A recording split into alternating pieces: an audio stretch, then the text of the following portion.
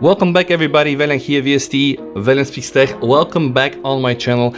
A while ago I made that video which showed you guys how you can enable the OnePlus 8 Pro controversial. A while ago I've created this video how to enable the OnePlus 8 Pro controversial.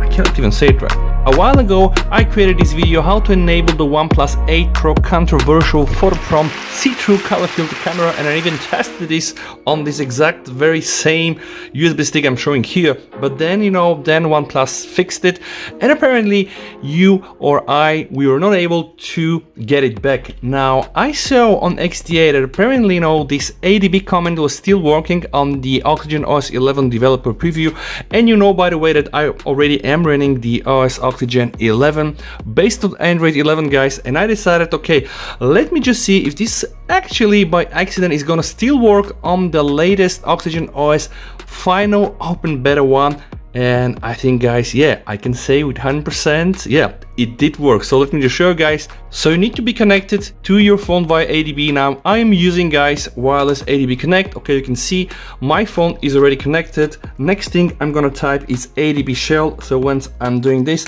I'm gonna be already at the OnePlus 8 Pro. We can now see that I am connected to the OnePlus 8 Pro via ADB and I have the ADB shell. And what we're doing here guys we are pretty much using the very same command you know we used before and that is actually the command okay? So once you are inside the ADB shell on your phone you just need to copy and paste that command and just doing it with you today okay?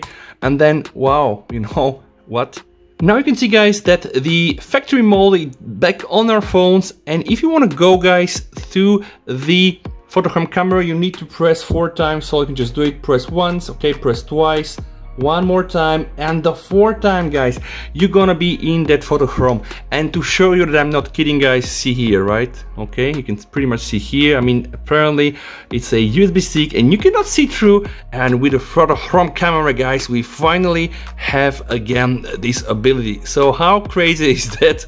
Honestly I'm not a big fan of this feature but I know that a lot of people do like this. Now very important guys. How to make sure not to lose this. So once you're in the recents menu you just need to hold it and then press the lock okay? You're gonna see right now there's gonna be like a locker here. Right now everything you know you open and close. Every time you do it guys this is still gonna be there and it's gonna work right? So just hope that guys you enjoy this video.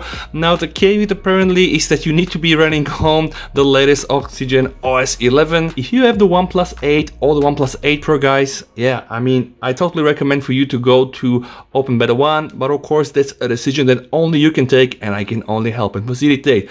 I really hope that you like this video guys, if that's case you know what to do. Yeah, maybe I should have said it slower, but okay, subscribe to my channel, share the video, like it, and we see each other again very, very, very soon. VST over and bye.